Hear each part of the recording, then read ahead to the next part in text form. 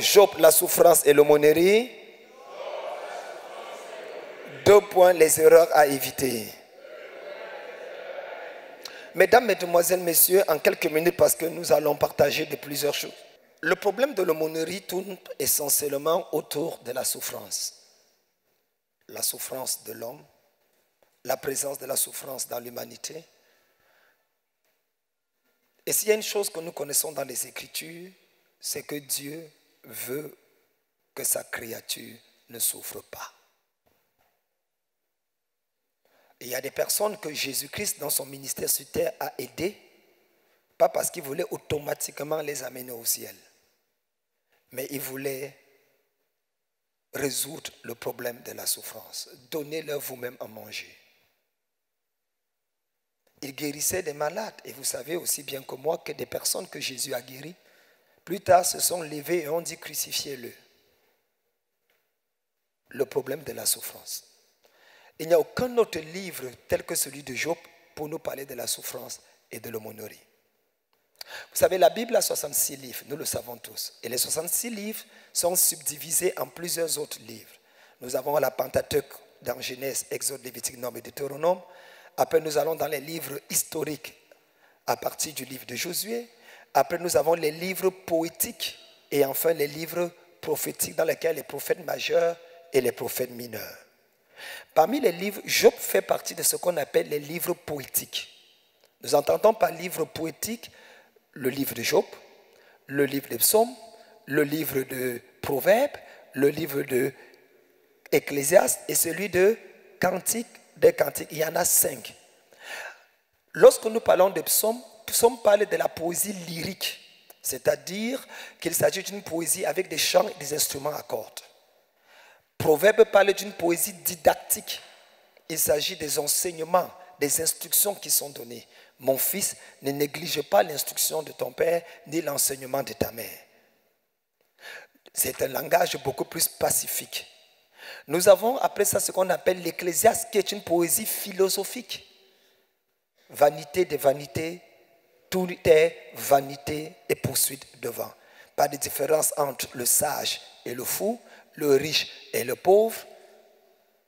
Et puis nous avons ce qu'on appelle le livre de Cantiques des Cantiques, qui a été une poésie romantique. Non, le mot est faible. Cantique des Cantiques est une poésie érotique. C'est une expression sexuelle. Le livre des Cantiques des Cantiques est le rapport intime entre un homme et une femme entre Salomon et la Sunam. Et si on connaît qui est Salomon, celui qui était professeur agrégé en phonologie et en sexologie, on se rendra compte à quel niveau le livre des cantiques des cantiques peut ressortir certains ébats. D'ailleurs, il est clairement démontré qu'il y a 17 positions sexuelles dans Cantique des Cantiques. Nous n'entrons pas là-dedans. Ce n'est pas l'aumônerie sexuelle aujourd'hui. Cantique des Cantiques vient donc comme une poésie érotique. Mais Job lui présente une poésie existentielle. La poésie existentielle parle de la vie. Et la plupart des théologiens ont dit que le thème du livre de Job, c'est la souffrance. Ça, c'est faux. Le thème du livre de Job n'est pas la souffrance. Le thème du livre de Job, c'est la souffrance du juste. En fait, la problématique est claire. Pourquoi le juste souffre-t-il? Pas pourquoi l'homme souffre. On comprend pourquoi le voleur souffre, pourquoi le menteur souffre, pourquoi celui qui ne craint pas Dieu souffre. Mais tout le livre de Job tourne autour de la problématique de la souffrance de celui qui craint Dieu, de la souffrance de celui qui n'a pas fait de mal, de la souffrance de quelqu'un qui est pourtant bon, qui est juste, de quelqu'un qui fait tous ses efforts pour être agréable à son Créateur mais on se rend compte qu'il souffre. Et, voyez-vous, moi j'ai découvert la nationalité de Job. Oui, vous savez que Job, le livre de Job est le plus ancien livre de la Bible. C'est l'un des plus vieux personnages. Il a vécu avant Abraham. C'est un temps, dans le, c'est un contexte euh, socioculturel. la plupart des théologiens exégètes bibliques euh, ne me contrediront pas. Mais cependant, Job était un Nigérian. Oui, il était du Nigeria. Et je connais même sa fonction, son travail. En fait, le livre de Job, paraît-il, a été écrit par un gars qui tournait les films de Nollywood. Parce qu'il y a trop de similitudes entre Job et les films nigérians qu'on nous présente. Dans les livres nigérians, vous voyez quelqu'un qui se retrouve au départ, tout va bien, après, pam, il perd sa mère. Et il va passer, et son père va épouser une autre femme, et il va souffrir pendant près de 45 minutes du film. Au moment où on pense qu'il s'en sort, il ressouffle encore. Jusqu'à ce que, bam, il trouve un travail, quelqu'un le reconnaît, il avait un héritage qui était caché quelque part et il devient multimillionnaire. Et dès qu'il devient multimillionnaire, le film s'arrête. Ah! Pourquoi on ne nous raconte pas aussi comment il a bien vécu après? C'est comme ça le livre de Job. Le gars vit bien. Un jour, bam, il a la souffrance. Pendant 38 chapitres environ, on ne fait que nous parler de la souffrance du gars. Il pleure, il se gratte. Sa femme lui dit Maudit Dieu et meurt. Ah, femme de Job. Elle n'a pas dit maudit Dieu et mourons. Elle a dit maudit Dieu et meurt car je peux être une veuve joyeuse. Il y a quelqu'un qui peut m'épouser après toi. Donc, en fait, il y a là un problème. Et après, on dit, et l'Éternel restaura Job. Bam, le livre est fini. Juste quelques minimes versets pour décrire ce que Dieu a fait après tant de chapitres de souffrance. C'est pour ça que je vous ai dit, le gars, c'est un gars qui tournait les films de Nollywood. Et c'est sûr que c'était un Nigérian. Mais ce n'est pas ça aujourd'hui sur lequel je vais parler. Je voudrais qu'au travers de cette histoire de la souffrance d'un homme juste, nous essayons d'avoir une autre vision de l'aumônerie dans son ensemble et de ce que c'est qu'un aumônier et ce que nous devons nous attendre afin d'éviter de certaines erreurs qui se présenteront sur notre chemin. Si nous avons planté le décor et vous êtes tous des hommes de Dieu d'un certain calibre, il me serait difficile de vous raconter encore l'histoire de Job comme si je le faisais à l'école de dimanche. Mais nous savons tous que l'histoire commence de manière paradoxale. Il y a une scène qui se passe quelque part au ciel. Quelque part où Dieu décide de convoquer ses enfants. Et il les appelle et ses enfants viennent. Euh, je ne sais pas pour quelle raison tous les fils de Dieu sont là. Mais Job n'est pas là. Pourtant, il est écrit qu'il lui aussi est un fils de Dieu. Il est un huos. Il n'est pas un technon, c'est-à-dire un enfant qui ne connaît pas ses droits. Non, il est le mot qui est traduit là en réalité parle de quelqu'un qui maîtrise ses droits. Mais cependant, tous les fils de Dieu sont rassemblés, mais Job n'est pas là. Et Job n'étant pas là, quelqu'un d'autre va prendre sa place parce que la nature a horreur du vide. Moi, je reste convaincu que Satan n'était pas supposé être là. Mais comme il y avait une place vide, la place de Job, alors il a pris cette place. C'est pour ça qu'il est venu en dernière position parce qu'il y a un absent. Et c'est comme ça que Dieu commence et dit, as-tu remarqué mon serviteur Job Il n'y a personne comme lui sur la terre. Ah, Le débat va tourner autour de Job. Pourquoi Dieu pose la question à Satan sur Job? Parce qu'il s'attendait à voir Job venir. N'ayant pas vu Job, il voit plutôt quelqu'un d'autre apparaître. Et n'entrons pas, dans la théologie selon comment Satan peut apparaître devant Dieu. Ça, si je vous prêche sur l'autre là, vous allez m'excommunier du bénin. Donc n'entrons même pas là, dans l'autre phase là. Mais ce qui est intéressant, c'est que Job n'est pas là et il va souffrir du fait de ne pas être là. Parce qu'il n'est pas là, il va subir la perte de ses enfants, la destruction de son mariage, la perte de ses biens, une seule erreur. Un homme qui craint Dieu, d'où la première erreur qu'un aumônier ne doit jamais commettre, ne pas être là où les décisions se prennent. Éviter d'être absent là où les décisions se prennent.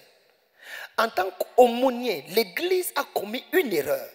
Nous sommes restés dans l'Église. Nous avons prié, jeûné, chassé, prié pour les présidents, les députés, les sénateurs, mais aucun de nous n'est allé au Sénat. Aucun de nous n'est allé à l'Assemblée nationale. Aucun de nous n'est allé dans ce truc ministériel, à la municipalité Pointe-Mer, pour devenir député. Pourquoi? On est resté dans la prière comme Job, au lieu d'aller là où les choses se passent. C'est pour ça que nous subissons. Nous subissons aujourd'hui parce que nous avons laissé des aveugles prendre des décisions pour que ceux qui voient puissent obéir. Nous allons automatiquement sombrer. Ne jamais. Et l'aumônerie vient résoudre ce problème. Le problème, comme disait le général Carlos Aroba tout à l'heure, quand il dit là où le pasteur s'arrête, l'aumônier avance, il entre. Nous avons des aumôniers parlementaires.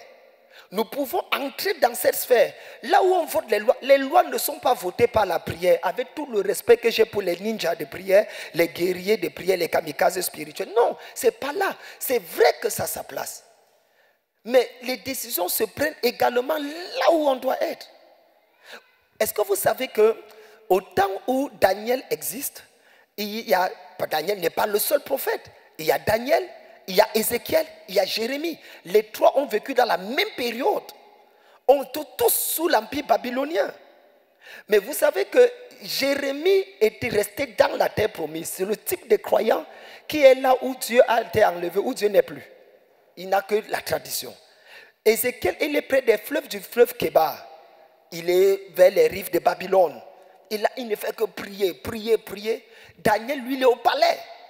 Mais Daniel étant au palais dit, je compris par les livres que la captivité devait s'arrêter après 70 ans. Donc quand tu es à un certain niveau, tu vas provoquer quelque chose qui va mener à la libération. Esther, parce qu'elle était au palais, a réussi à intervenir en faveur du roi de telle sorte que le peuple juif ne soit pas... Parfois, nous ne sommes pas au palais, mais nous restons à la porte comme Madoché, malgré toute l'onction de Madoché, toutes les prières, les jeûnes, le discernement de Madoché, il ne peut rien faire parce qu'il est encore à la porte. Il faut que nous, nous en tant que des Mardoché ou des pères pour nos nations, nous introduisons des Esther au palais. Oh non, si on les envoie là-bas, ils vont rétrograder. Si on les envoie là-bas, le monde est mauvais, la politique est sale, les mains sont sales. Les gens que nous parlons ont été des chefs d'État. Daniel était dans un rassemblement où, quand il faisait la réunion du cabinet, il y avait le roi de Babylone qui était là. C'est lui qui était le chef du cabinet du roi de Babylone. Et la Bible dit qu'il était le chef des magiciens, des satrapes, des chaldéens. Et quand on parle des chaldéens, c'était des gens qui avaient l'art de l'ésotérisme. Quand vous parlez des magiciens, ce n'était pas des Donc quand Daniel faisait la réunion, il y avait au milieu des gens quelqu'un qui venait, on voyait que sa tête. L'autre, le bas était le serpent, la tête était celui du bœuf. L'autre, donc, d'autres étaient même invisibles, mais on entend la voix. Mais Daniel ne tremblait pas devant ces gens. Nous, nous sommes prêts à dire Satan sort, mais quand on voit une grosse souris apparaître à la maison, on dit voilà les attaques qui sont venues, on commence à se cacher. Je pense que nous devons changer un certain nombre de choses éviter la première erreur, ne pas être là où les décisions se prennent. Les décisions se prennent dans l'armée. Les décisions se prennent à la présidente. Les décisions se prennent à la, municipalité. Les décisions, un maire est capable de fermer une église. Euh, quoi sonore? Quel est le thème qu'ils utilisent souvent? Euh, Je ne suis pas bien. Pro, pollution sonore. On va vous fermer, mais on ne fermera jamais le bar qui est là à côté et qui fait plus de bruit et de dégâts que vous. Pourquoi? Et après on va dire, Seigneur, expose ce maire, Seigneur, tue ce maire. Si tu tous les maires, qui, va diriger la ville? Puisque nous n'avons pas la capacité de diriger, on est seulement un pour prier en langue. Et c'est ça l'un des problèmes que nous avons. C'est que nous ne voulons plus utiliser notre tête. L'apôtre Paul dit, celui qui prie en langue, son intelligence est stérile. Donc peut-être l'excès de prière en langue abrutit notre intelligence. C'est pour ça que Paul dit, je prierai en langue, mais je prierai aussi en intelligence. Première erreur, ne pas être là où les décisions se prennent. Et nous sommes tous d'accord. Spirituellement, les décisions se prennent ici, là, dans l'église. Mais politiquement, administrativement, socialement, les décisions se prennent ailleurs. Au lieu de passer autant à prier, Seigneur, touche leur cœur pour qu'ils prennent des bonnes décisions, allons là-bas prendre des bonnes décisions. Ou alors, soyons des conseillers pour ce genre de personnes afin qu'ils prennent des bonnes. Et c'est ça l'aumônier. Un pasteur d'une autorité, le pasteur d'un maire, l'aumônier est le pasteur d'un prisonnier, d'un régisseur, d'un gardien de la paix. Il est le pasteur d'un président, d'un ministre, d'un DG. Il est le pasteur d'un député. Il est le pasteur d'un sénateur, afin de l'empêcher de prendre des décisions qui vont promouvoir l'homosexualité, promouvoir un certain nombre de choses et empêcher ainsi que le nom de Dieu soit glorifié dans la nation du Bénin. J'ai envie de déclarer, tu seras toujours là où on prend des bonnes décisions. Ta manière de dire Amen, c'est comme si tu ne veux pas arriver là-bas. Même si tu ne veux pas, que le Saint-Esprit te porte et t'amène là où on prend des bonnes décisions. Le plus souvent, nous voyons l'héritage que nous laissons à nos enfants. Moi, ça me fait 31 ans de ministère pastoral. 31 ans que j'ai commencé une église. La première église que j'ai commencé, c'était en 1991 à Yaoundé avec 150 membres et deux pasteurs assistants, le pasteur Hilaire et le pasteur Yves. Ce sont les deux pasteurs avec lesquels j'ai commencé. C'est trois ans plus tard que je suis allé me faire former pour sortir en 94 comme l'un des plus jeunes pasteurs en Afrique à l'âge de 17 ans. Mais j'avais déjà commencé l'église. Mais le problème est le suivant dès que j'ai commencé, j'étais dans un ministère, on m'avait dit, ne fréquente pas, Jésus revient bientôt. Nous avons arrêté et déchiré même nos diplômes. Le premier j'étais dans l'église d'un homme appelé Zacharias Tanifomoun, pour ceux qui le connaissent. C'est là où je suis entré. C'était le, radicalisme pentecôté, ce n'est pas de l'amusement. Les gars font 40 jours de jeûne comme c'est de l'amusement. Je pense que le commandant euh, peut, peut témoigner de ça. Mais cependant, il y a certaines choses que nous devons apprendre. Allons-y rapidement. Première erreur à éviter, c'est quoi? L'erreur de ne pas être là où les décisions. Est-ce qu'on peut dire ensemble L'erreur de ne pas être là où les décisions se prennent? Maintenant, la deuxième erreur, ce que Job, au travers de Job, la souffrance et l'aumônerie que nous apprenons, c'est que la Bible nous dit, est-ce que vous savez que Job ne connaissait pas Dieu? Ben, J'ai dit, c'est un pasteur, il a failli me lapider. Il me dit, mais comment tu peux dire ça? On a prêché Job. Job, c'est l'homme intègre. Job, c'est celui. Job, c'est celui. J'ai dit, mon ami, Job ne connaissait pas Dieu. Il me dit, ah, mais ça, c'est la sorcellerie. Tu es un faux pasteur. Il dit, ce n'est pas moi qui dis, c'est Job lui-même qui le dit. Il me dit, comment? Eh bien, il est écrit, mes oreilles avaient entendu parler de toi, mais maintenant mes yeux te voient. Donc, tout ce qu'il vivait, c'était sur la base de ce qu'il avait entendu dire de Dieu et non sur la base d'une expérience personnelle avec Dieu.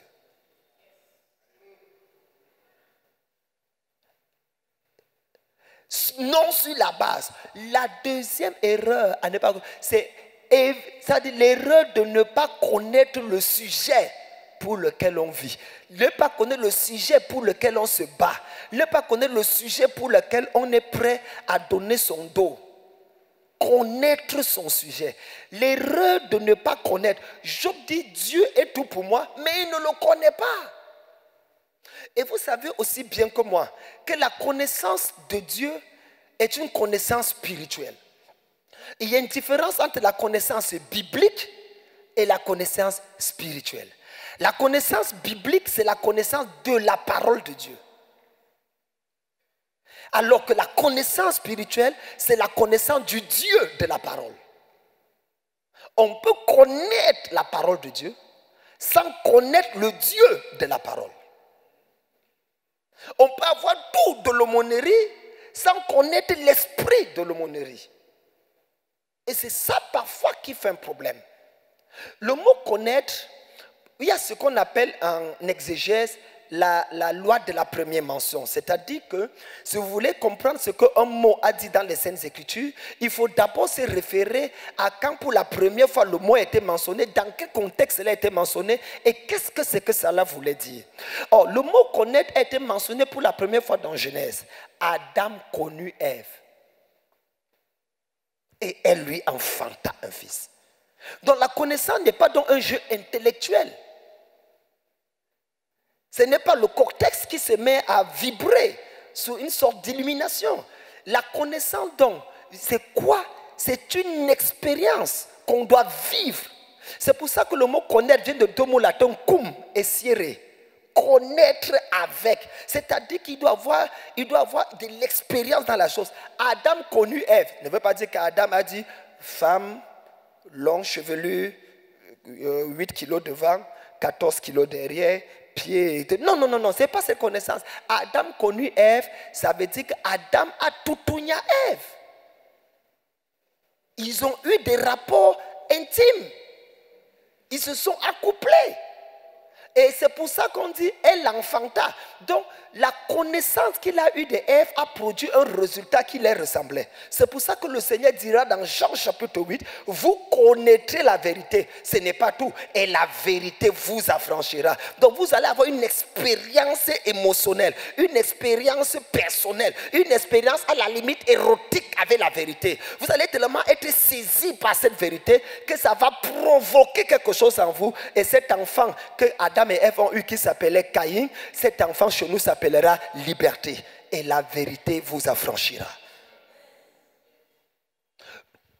Ils ne connaissaient pas ce Dieu. Connaître ton sujet. Aujourd'hui, nous allons sortir, la semaine prochaine, nous sortirons comme des aumôniers. On va te dire, mais c'est quoi un aumônier? Certaines personnes vont te défier. Mais tu es déjà bishop, tu es déjà pasteur. C'est encore quoi cette histoire à la mode? Au Bénin, aumônier, aumônier Vous voulez déjà retrograder pour devenir des militaires? Non, c'est qu'il n'a rien compris. Il n'a rien compris, c'est l'histoire de l'aumônerie. Sur Marcel de sur, sur, sur, qui nous ont précédés dans l'aumônerie. Les gens comme Billy Graham, qui étaient des aumôniers des chefs d'État. Et qui étaient aumôniers de pratiquement de quatre chefs d'État américains. Jusqu'aujourd'hui, la plupart des chefs d'État américains républicains et même déjà même démocrates ont des pasteurs comme des, des aumôniers. Or, en Afrique, si nous ne voulons pas devenir des aumôniers, les pasteurs auront les féticheurs comme étant des conseillers. Donc, la nature a horreur du vide. Soit nous nous positionnons pour être des aumôniers des chefs d'État. La mentalité. vous savez, il y a des pasteurs qui se plaignent, disent, je ne vois pas les riches dans mon église. Quelqu'un devient riche, il quitte mon église. Mais c'est normal. Tu sens la pauvreté, il doit quitter l'église. Parce que le contexte ne lui permet pas de rester, il va redevenir pauvre. Parce que ton message, c'est toujours Dieu va te rendre riche, tu vas réussir, tu vas prospérer. Faya, wata, tombe, relève-toi. Oh, le gars, il est déjà béni. Il a besoin de quelque chose d'autre de ce que tu viens de lui dire là. Donc, élève le niveau apprends à conseiller un riche, être l'aumônier d'un homme d'affaires, d'un homme riche. Pas parce que tu veux son argent, mais parce que le riche ou l'homme au pouvoir a un besoin fondamental. Et le besoin fondamental, c'est la protection. Si tu comprends ça, que lui, là où il est là, il sait que sa richesse ou son pouvoir attire des ennemis vers lui. Je connais mon sujet en tant qu'aumônier. Je connais la personne qui vient vers moi. Je me positionne donc selon le type de personne qui vient vers moi et je lui transmets le message. Vous avez déjà posé la question pourquoi il a fallu jusqu'à avoir quatre évangiles pour la même personne? Le risque même qu'ils se contredisent Quatre versions différentes pour une seule personne? D'ailleurs, je vous rappelle que Pierre a écrit un évangile, mais c'est l'évangile de Marc. Parce que les informations que Marc a prises venaient de de Pierre. Vous le savez, j'espère. Parce qu'en réalité, mais Marc était le disciple de Paul. Hein. Mais c'est Pierre qui l'a pris. Et comment, quand est-ce qu'il a pris le pouvoir à Pierre? Parce que ce que Pierre avait, c'est Marc qui a pris ça. Lorsque Pierre était en prison et que dans la maison de Salomé, on était en train d'intercéder pour que Pierre sorte de la prison dans Actes chapitre 12, je crois bien. La Bible dit que quand Pierre est sorti, il allé dans la maison de Salomé et Salomé était la mère de Jean-Marc. Et c'est là où Pierre est entré dans. Pierre est fini. Après ça, on a commencé à parler d'autres pierres. Paul a pris le relais avec Silas. Numéro 3, allons-y rapidement parce que j'ai une autre chose à dire. Donc, connaître ton sujet. Connaître, connaître. Je connais Dieu, je marche avec Dieu. Et d'ailleurs, pour moi, l'une des personnes qui connaissait le plus Dieu dans la Bible, c'est celui qu'on appelle le. Euh, comment on appelle celui-là? Quel est le monsieur que le poisson a avalé? L'un des prophètes qui connaissait le plus Dieu dans la Bible, c'est Jonas. Mais malheureusement, c'est lui qu'on bombarde, qu'on critique le plus. Et Jonas connaissait Dieu grave. D'ailleurs, les livres de Jonas ne sont pas complets. C'est combien de chapitres, Jonas? C'est combien? Quatre chapitres. C'est ça, n'est-ce pas? Mais en réalité, il y a un chapitre avant le chapitre 1. Ça s'appelle Jonas chapitre 0. Jonas chapitre 0. Un jour, j'ai prêché sur Jonas chapitre 0. Pourquoi il y a Jonas chapitre 0 J'ai découvert qu'il y avait Jonas chapitre 0 quand je suis allé dans Jonas chapitre 4. Où Jonas 1, Dieu dit à Jonas, va à Ninive. Jonas 4, Jonas répond à Dieu. N'est-ce pas ce que je te disais quand tu m'envoyais à Ninive? Je savais que tu étais un Dieu qui est compatissant, que tu vas pardonner, que tu vas faire. C'est pour ça que j'ai refusé d'aller. Mais il a fait ça quand? Il a dit ça quand? Donc avant Jonas chapitre 1, il y avait un Jonas chapitre 0. Une discussion qui a eu lieu entre Jonas et Dieu qu'on nous a caché. Qu'on nous a caché. Et c'est cette discussion qui a poussé un homme. Et pourquoi je vous dis qu'il connaissait Dieu? Regardez bien ce que la Bible dit. Et Jonas s'enfuit loin de la face de l'Éternel. Attendez, si je dois quitter loin de ta face, c'est que je sais où tu es. Sinon, je vais te croiser en chemin. Si je sais que tu es de ce côté, je peux fuir de ta face, je vais de ce, côté. Donc, Jonas savait où est Dieu. C'est pour ça qu'il a dit, je sais que tu es là-bas. Moi, je te, tu là. Je vais donc par là-bas. Et en fuyant dans ce pendant, quelque chose s'est passé. Et c'est ça, cette connaissance personnelle de Dieu et également de notre sujet qui fera de nous des aumôniers exceptionnels. Et j'ai la conviction qu'on sera des aumôniers exceptionnels au nom de Jésus. Et cette connaissance, pour finir ce point, va dans l'obéissance, dans des simples détails. Dans l'obéissance. Vous savez, Pierre a dit, Jésus a dit à Pierre, approchez la barque, c'est approcher et jetez vos filets. Et Pierre a jeté. Mais Pierre, vous savez, on a prêché ce message dans Matthieu, je crois, 5 ou 5. Mais Pierre n'a pas obéi à Dieu. Pierre a désobéi à Jésus. Ce passage, il y a une désobéissance dans ce passage. Et cette désobéissance a failli coûter la vie à tout le monde, y compris Jésus. Jésus a dit, jetez les filets. Et Pierre répond, sur ta parole, je jetterai le filet. Jésus n'a pas dit jette le filet. Il dit jetez les filets. Mais Pierre a dit je jette le filet. Mais la compassion de Dieu a fait en sorte que malgré ça, mais voici la conséquence. Ils ont ramassé tellement de poissons que le filet se rompait. Ils ont dû appeler les autres qui ont d'autres filets pour venir les aider. Donc ils allaient se noyer, ils allaient perdre ce qu'ils ont pris parce qu'au départ, il y a une petite astuce dans jeter les filets et il a jeté le filet. Et c'est la même chose, ce n'est pas parce qu'il y a un miracle que Dieu est automatiquement avec toi. Vous savez, aujourd'hui, nous les pasteurs, avec les jeunes pasteurs qu'il y a aujourd'hui, tu vois, son église est remplie de miracles, des choses. On dit que, mais si ce n'est pas alors Dieu, pourquoi tous ces miracles? Eh bien, ça peut que Dieu ne soit pas là, mais il y a miracle. Le miracle n'est pas le signe automatique que Dieu est là. C'est pas ça. Disons-nous des vérités. J'aime les miracles et je suis un adepte des miracles. Mais rappelez-vous que Moïse a frappé le rocher. C'est une désobéissance à Dieu qui lui a fait coûter même la terre promise. Mais est-ce que l'eau n'est pas sortie du rocher? Est-ce que l'eau n'est pas sortie du rocher? Est-ce que le peuple n'a pas bu? Est-ce que l'eau a tué le peuple?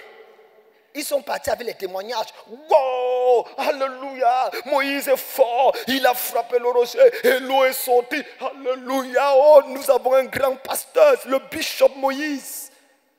Mais quand il s'est retourné dans la chambre, Dieu lui a dit, là, là, là, tout n'entre pas dans la terre promise. Combien de fois nous, le peuple nous a acclamés? Alors qu'en réalité Dieu était triste. Combien de fois on était si fiers d'avoir fabriqué quelque chose, d'avoir frappé quelque chose, et les miracles se sont opérés. Mais quand Dieu regarde son dit, ce n'est pas ça à quoi je t'avais appelé. Moi, je pense que connaître Dieu et connaître son sujet est une erreur à éviter. Troisième et avant-dernier point, si vous le permettez, euh, je, pourrais parler jusqu'à 5 ou 3, 4, c'est que euh, euh, Job, Job ne connaissait pas son ennemi. Il ne, il ne connaissait pas son ennemi. Vous savez, l'ennemi de l'aumônier doit être connu. Vous ne pouvez pas entrer quelque part sans connaître qui est votre ennemi. C'est qui l'ennemi de l'aumônier? Eh bien, l'ennemi de l'aumônier n'est pas le diable. Notre ennemi numéro un, c'est notre ignorance. C'est notre ignorance. Le diable rôde cherchant qui il dévorait. Mais mon peuple périt. Donc, l'ignorance, dès que tu es ignorant, tu es déjà victime de quelque chose. Et tu ne peux plus avancer, tu ne peux plus aller. L'ignorance est bizarre. Et, c'est quelque chose que je voudrais véritablement qu'on essaye de regarder parce que ça, ça, ça, ça, trouble un peu l'esprit. Euh, euh, président, moi j'ai prêché beaucoup le message du fils prodigue. Le fils prodigue. Et pour moi, la star n'est pas le fils prodigue. Pour moi, la star, c'est le père. Mais j'ai découvert qui j'ai découvert pourquoi le fils prodigue est sorti de la maison. En fait, j'ai découvert que le fils prodigue était envoûté. Moi, je suis devenu l'avocat du fils prodigue. Je suis son avocat et même de procès devant Dieu, je vais gagner. Le gars était envoûté. Et je peux même vous dire qui l'avait envoûté. Oui, le fils prodigue. Je vous prouve qu'il était envoûté. La Bible dit, étant revenu à lui-même.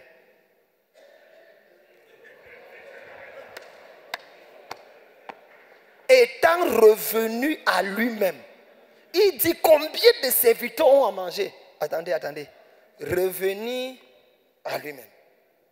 Et il était où alors? Envoûté.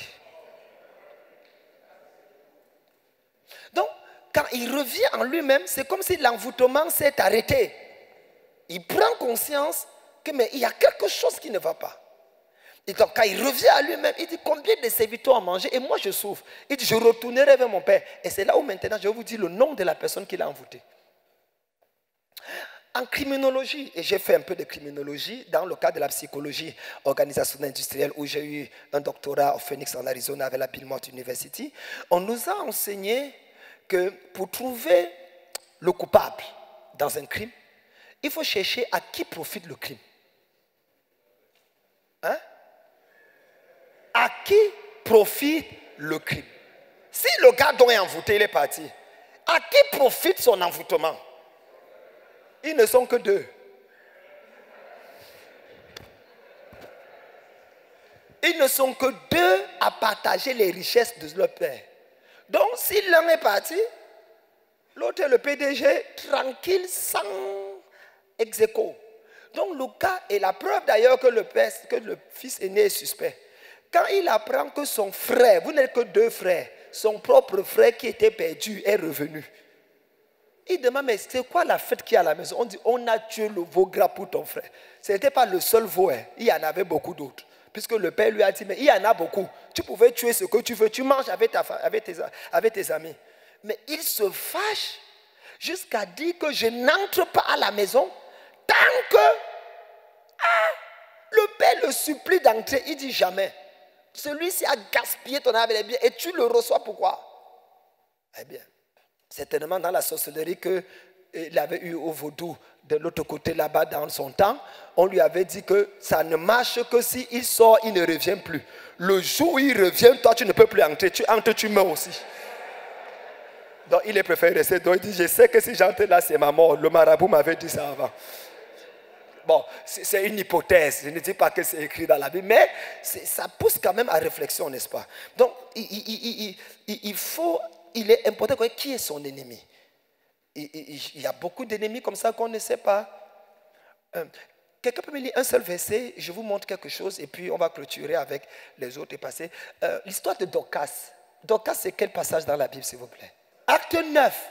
Voilà monsieur qu'on a appelé pour lui dire cette personne merveilleuse est morte.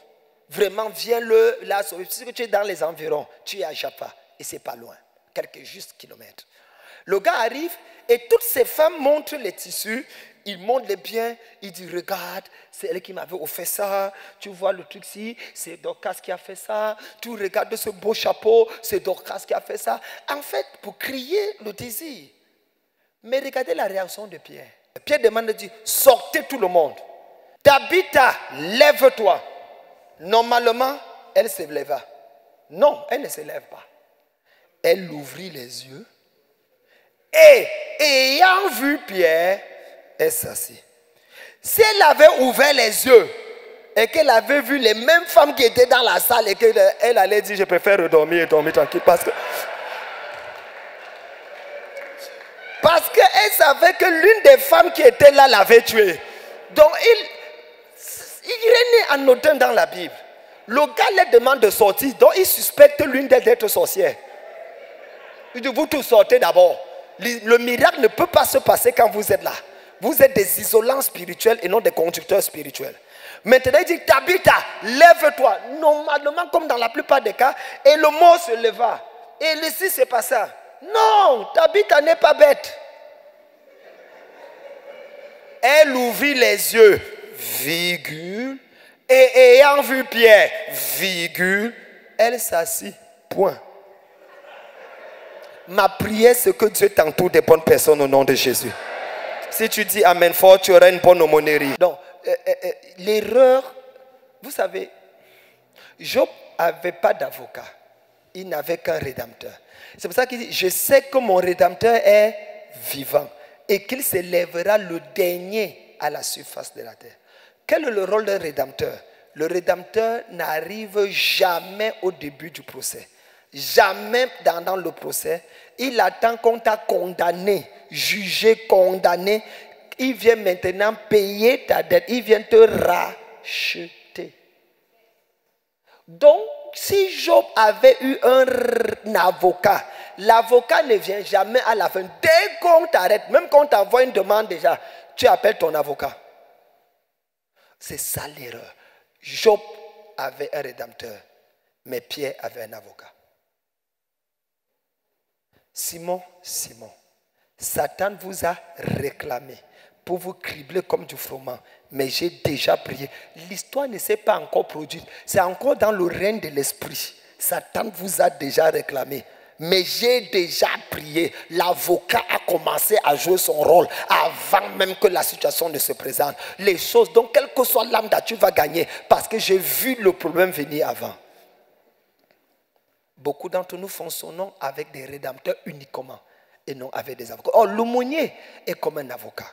Il apparaît et t'accompagne pendant tout. Il n'attend pas quand tout est fini pour qu'il sorte une prophétie, une révélation, pour dire, je t'avais dit que c'est l'hôtel de la maison de ton grand-père qui est en train de parler contre ta vie et tu ne me croyais pas. Non, il présente des situations sur le plan communicationnel, sur le plan de la gestion de la vie, afin de pousser la personne à pouvoir réussir. Et j'ai envie de dire à quelqu'un que Dieu te donne la grâce d'avoir un avocat. Si tu dis Amen, ça va arriver. Ah, si tu dis Amen plus fort, ça va arriver. Si tu dis Amen plus fort que ton voisin, tu es béni.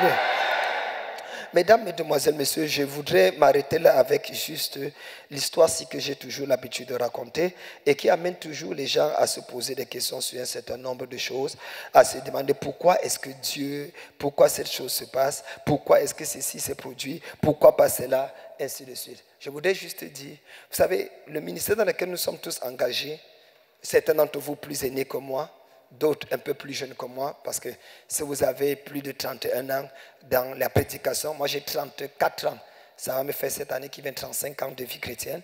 mais si vous avez plus, c'est que vous êtes certainement mon aîné dans le ministère. Mais en, en cette année, je me suis rendu compte que nous vivons des moments très cruels. Et c'est avec ça que je vais achever. Nous avons des moments où si tu ne prends pas soin de toi-même, l'ennemi du pasteur, c'est le pasteur. L'ennemi du prophète, c'est le prophète. L'ennemi, l'aumônerie te permet d'avoir d'autres relations en dehors de ton collègue pasteur. Et je vous dis, ça sauve parfois. Il y a cela quelques années, j'avais eu un problème dans mon pays d'origine, le Cameroun. Et dans ce problème, j'avais été, c'était avec des Ivoiriens, l'histoire de trading, forex, exchange et tout ce qui se passait. Et puis certaines personnes, hein, avec le pasteur qui était à l'époque, qui était un pasteur, euh, qui était le pasteur national de Winners Chapel à l'époque, et qui par la suite m'avait introduit certaines personnes. Et puis moi, relation de confiance, et puis j'ai par la suite, je me suis rendu compte que c'était une arnaque incroyable. Personnellement, j'avais investi près de 40, non, 28 millions personnellement, mais avec mes enfants, près de 200 millions avaient été investis dans l'affaire. Et au moment où on se rend compte que c'est une arnaque, où nous portons plainte, je me lève pour dire non, ça c'est l'histoire, parce qu'ils avaient utilisé également certains de mes médias pour en faire leur propagande. Les premières personnes qui se sont levées pour dire que Camden est fini, on va, lui montrer. Il est montré qu'il est quoi? C'était mes frères pasteurs, mes collègues hommes de Dieu.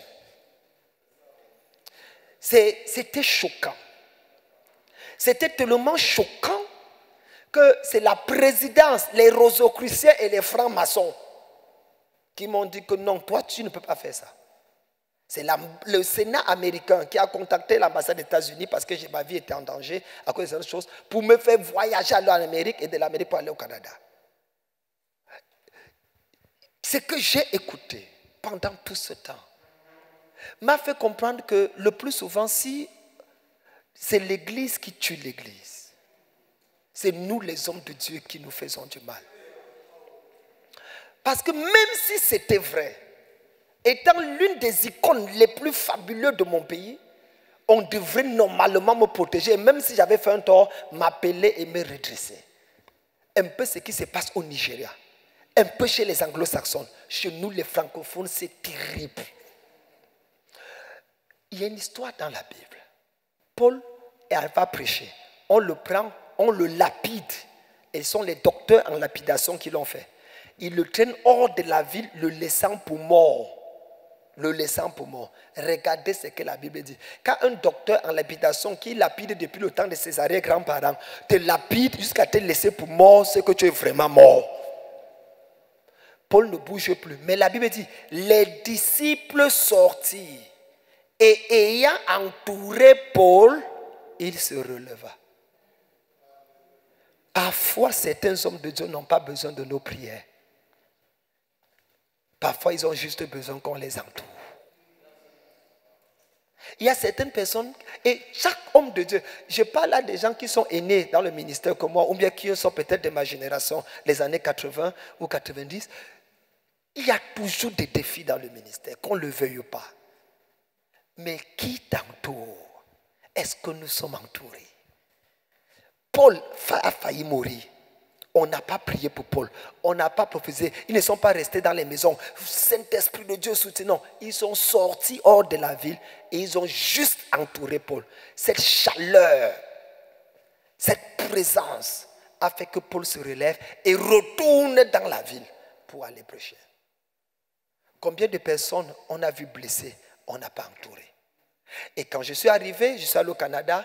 Au Canada, ça fait bam. J'ai ouvert trois églises au Canada en moins de deux ans. Avec près de 25 nationalités. Mon ami, l'apôtre Isaac Patrick, qui est au Canada, à Montréal, qui était mon ami à l'époque.